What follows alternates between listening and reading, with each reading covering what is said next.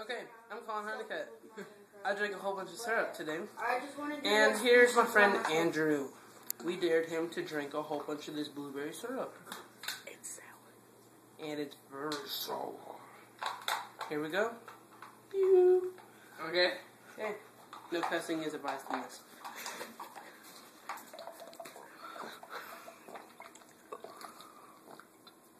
I think I should stop.